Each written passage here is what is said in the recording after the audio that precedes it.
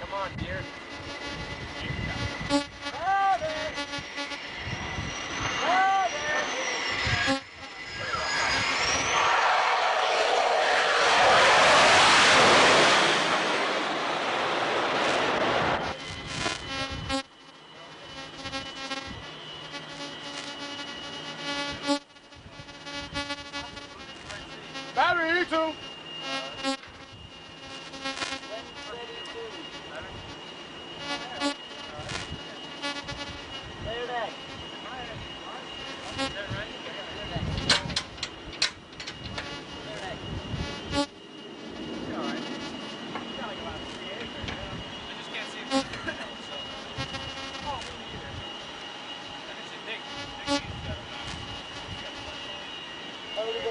E2.